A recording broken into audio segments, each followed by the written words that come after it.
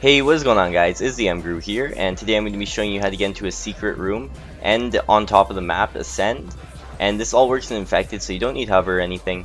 So the first thing you have to do is head over to this location, jump on that small barrier right there, then do a double jump up here, and then jump to this pillar over here, and then do a double jump onto this barrier up here.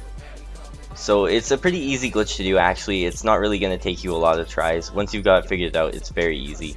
So from there, double jump into this wall, and double jump up here. I know I'm saying double jump a lot, I apologize for that. But there's a lot of jumping in this glitch. Now you're just going to jump onto this thing right here, and then move to the side and just drop down right here. From there, move straight forward into this black pillar and then press the crouch button, and you will start to fall. And then make sure you push to the left, otherwise you're just going to fall off to your death and you won't get stuck on the wall. But once you have pushed to the left, you will get stuck in this wall, and like I said, it's really easy to do, and it's a pretty cool spot. Like, no one's really gonna ever see you here. This is actually like an insane spot. And you can shoot through the wall right here.